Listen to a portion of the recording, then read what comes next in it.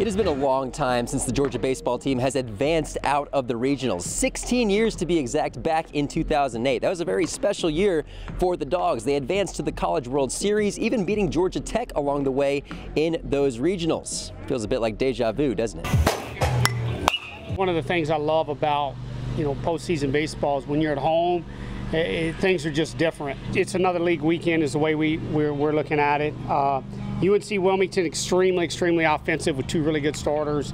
And then Georgia Tech, you know, we, have played them already. They're another team that's really, really offensive. The Dogs are staying put in Athens after a successful 39 and 14 season. On the docket awaits Army, and after that, possibly Georgia Tech.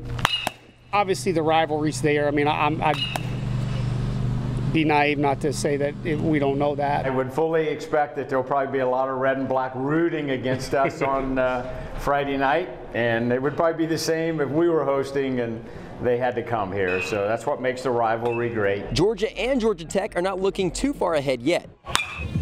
The nation's best baseball player, Charlie Condon, agrees. Just, you know, with atmosphere and, you know, with, with so many fans from, from both fan bases in this area and probably making the trip over. But um, kind of like you said, you know, our, our, our priority is Army um, just because, you know, in, in postseason baseball, you can't take anybody lightly. Um, we're going to give everybody our, our best punch because we're expecting for them to do the same to us. Now, head coach Wes Johnson is, of course, very familiar with winning. He has a ring on his finger from coaching last year at LSU. He's got the best record ever for a first year head coach at the University of Georgia. He says to get that ring, it all starts first right here in regionals.